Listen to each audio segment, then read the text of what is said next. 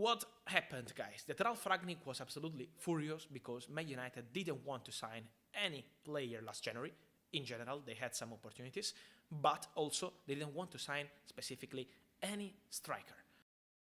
Rewinding one year into the last January transfer window, and it was Ralf Rangnick's only window as Man United's interim manager. We were linked with loads and loads of players. Somebody who could come in, help the squad, given that what was going on with Lord Voldemort, he who must not be named, Martial's injuries, we were still in the Champions League and everything. He wasn't allowed to sign anybody. Fast forward to the upcoming January transfer window. We're hearing rumours that Manchester United are going to be blocking any moves for, from Ten Hag in the window with a focus on the summer. So what I'm going to do in this video is run through uh, the, these comments from Fabrizio Romano talking about Erik Ten Hag's strategy of what he wants Manchester United to do in the transfer window that's coming up. So make sure you subscribe if you're new. But let's run through it. And I want to start here with comments from Ralf Rangnick. Now, Ralf is a man who I genuinely still believe was the right man in the wrong job. And I will stand by that. And you'll remember that back towards last January, he was he was questioned, I think after the window closed, about signings that United could have made that and United didn't make. And this is what he had to say about that. He said the answer at the time was no. There was no player on the market that could really help us. But there were a few. Diaz, Alvarez, and Vlahovic are three names that he mentions there. He talks about how, look, we were still in three competitions the Champions League, the FA Cup, fourth in the league. In the past, it doesn't help us anymore. I spoke to the board and said, look, shouldn't we at least speak and try and analyse if we could get a player either on loan or on a permanent deal? And the answer was no. Now, for the three names mentioned there, Luis Diaz, I think that was a case of Liverpool going aggressive and getting a player that they were going to sign in the summer six months ahead because were, there was a worry that they weren't going to be able to get him. Strategy, planning. Then you've got this man, Julian Alvarez, who I personally think far more than Dusan Vlahovic was somebody that Manchester United could have gone out and signed. He was offered to us. We decided not to act on it. What happened? City got him, loaned him back out there, and all of a sudden now he's emerged and he's going to be an excellent squad member alongside Erling Haaland. City have just strikers galore. That's what happens when you plan properly. But going back to what Erik Ten Hag wants this January, this was also an interesting part from Fabrizio's latest video, by the way. The link is in the description if you want to watch a full one. I'm just reacting to some key points on it and expanding on those, I suppose. This is what uh, Fabrizio had to say. But what about January? For Man United, it's now important, and this is the feeling also around Erik Ten Hag, to understand that if there will be some big opportunity, Man United have to be ready on the market also in January. And this is the big thing I think that uh, Erik Ten Hag is trying to do, and it's no surprise this is coming during this international break. I've covered this already in quite a bit of detail here on United People's TV. I've done two videos. Number one here, where I looked at what I feel Erik Ten Hag would be looking at restructuring behind the scenes. I put the Glazers number one because that's what we all want. Probably, I don't think that was the conversation that Ten Hag had. But look, he needs a transfer specialist to come in and help him. Here's Paul Mitchell. Here's Luis Campos. Here's, some, here's somebody there to take control of that department away from John Murtough. He needs a new scouting department in there. He needs improved facilities at Manchester United. The ability to plan years ahead. And I, I took a look at the, the options available in this transfer window. And I identified a striker as the key position. It was the key position last January. It's going to be the key position, I think, again this January. But again, this is a final little comment from Fabrizio. Have a little listen.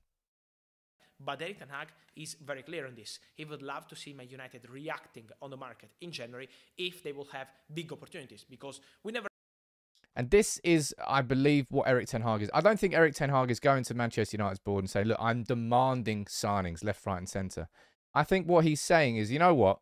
As a football club, it's deals like this Julian Alvarez one that we've got to make more of. And I'm actually going to cover this in a bit more detail uh, in a video later this week. Because uh, uh, from a sustainability perspective, Manchester United summer transfer window we just had, we can't do that every summer. Can't go out and spend 85 million on, on a winger and, and 55 million on a centre back and 75 million on a central midfielder. Not sustainable. It's just too much. You need to be making more signings like Tyrell Malacia.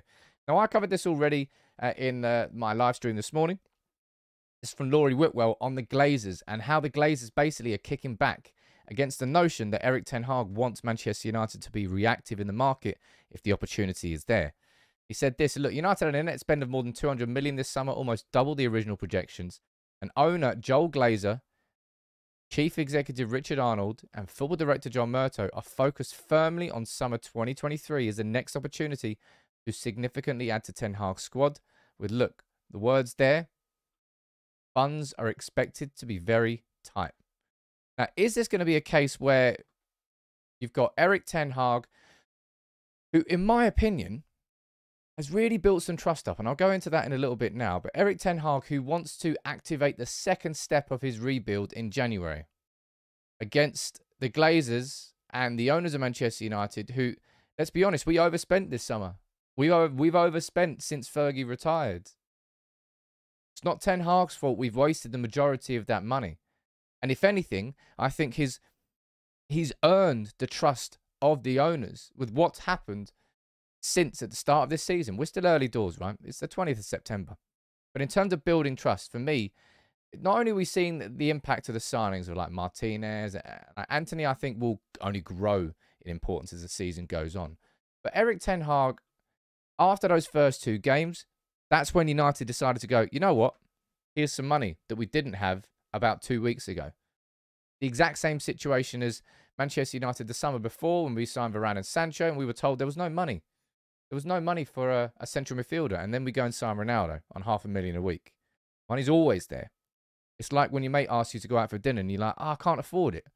The money's right there in your bank account. You've just decided that you can't be asked spending that money on that friend. That's why you're not going. The Glazers have always got the, it's because it's not their money. Manchester United have always got the money. And this isn't a case of coming in here and shouting at the owners to spend when we're not spending, blah, blah, blah. But it's about being smart. Being smart doesn't necessarily mean paying the most amount of money. And that Julian Alvarez one, for me, is the one that stands out. The one that was an opportunity last January to sign a player, what was it, 20, 30 million, I think they paid for him.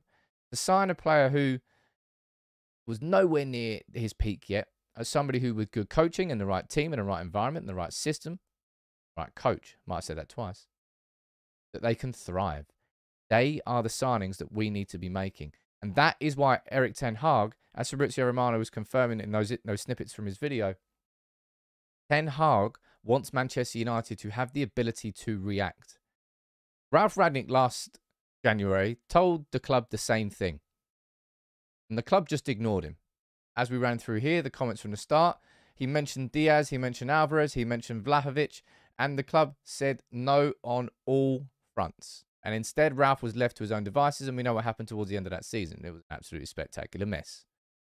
But Erik Ten Hag has proven since, in my opinion, uh, since he's taken over as manager with all of his, his work and everything that we're building towards, I can I can confidently see where Erik Ten Hag wants this team to be in two three years time. That's what's different about these transfers now.